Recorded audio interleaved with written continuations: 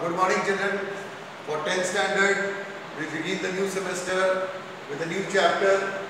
The chapter is nervous system. You know, by this time, you know the reduced syllabus you have seen, but nervous system is there, nervous system, endocrine systems, these are there. So, uh, first of all, you have to know that in human body there are two systems which coordinates the action of the various organs and the various systems in the body. One of them is the nervous system, the second one is endocrine system. There is a difference between the nervous system and endocrine system. Nervous system, the actions are very quick, responses are also very quick and uh, they are, uh, they, you know, the, uh, what you call, the transmission is very fast. Whereas in case of endocrine system, the action may start late, it is slow, but many of the endocrine function and nervous system, the functions are similar type. And you will see that in many cases, the neurohormones in case of nervous system are those same as those of the hormones which are secreted in the endocrine system. Now, first of all, we will go to the, the functional unit of the nervous system is the neuron. So, we have to know the structure of the neuron all of you by this time know the, structure. Just we revise it studied in standard 9 and 10, uh, 8 and 10. So this is the this part is called the cytosol of the cell body. And know the cytosol there are some projections. These are called the dendrons.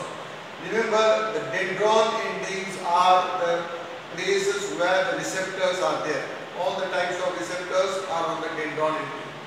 Inside the cell body our nucleus we have dark stained granules called the Nissl granules. This is called the axon hillock part of this is extended. This is called the neuraxis and this portion is called the axon. In axon you will find the neuraxis is sometimes covered by the myelin sheath as well as the neurilemma. If it is covered by the myelin sheath and the neurilemma we call it a medullated or myelinated nerve fiber. If, so this is a myelinated nerve fiber and you will have in myelinated nerve fibers this type of collaterals are present. Usually the transmission in myelinated nerve fibers are or neurons are faster than the non-myelinated neurons. Here you have the nucleus of the Schwann cell. These are called the nodes of the Ranvier. Usually the impulse uh, travel with a saltatory conduction or jumping through the nodes of the Ranvier so always the movement is from the cyton to the axon. Remember this, the movement of the trans impulse in a neuron is always from cyton to axon, not from cyton to axon to cyton. So this is a unidirectional movement. And this is called the terminal arborization where it, this portion is called the synaptic knob. They may form a synapse here with another dendrite, dendron or dendrite of another neuron. So this is a single cell and nerve cells are said to be one of the longest cells in the human body.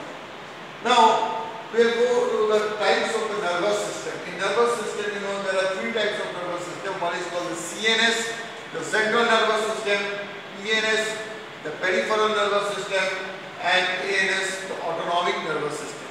All of these nervous systems they act together you know they act in unison so there should not be any type of uh, what we call this uh, wrong movement along this then it can create trouble. The CNS is two part one is called the brain another is the spinal cord. We will study them individually. The peripheral nervous system two types of nerves are there one called the cranial nerves which emerge from the base of the brain and these are all sensory, motor and mixed nerve. In spinal nerves, these are all mixed nerves which arise from in between the spinal, uh, what you call vertebral column from the spinal cord. So they have one sensory ending and one motor ending. In the autonomic nervous system, you can understand from the term autonomic is these nerves do certain type of action which help in the autonomous movement or automatic movement. There are two types. One is called the sympathetic nerve, another is called the parasympathetic nerve. So we'll know them individually what are the function. First we start with the brain. The brain is enclosed inside the skull in a brain box or called the cranium. Sometimes it is called brain box, sometimes it is called the cranium. Now this is the hard structure which protects the brain. But inside the brain also there is a covering. The brain and the spinal cord is covered by an outer membrane which is called the meninges. The meninges has three layers. The outermost layer is called the dura mater. The middle layer is called the arachnoid mater and is the lowermost layer which is on the surface of the brain. Now here I have shown the meninges.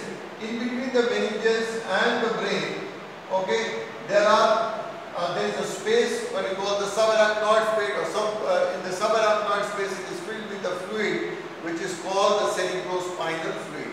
The cerebrospinal fluid is present outside the brain as well as inside the brain in there are small chambers which are called the ventricles.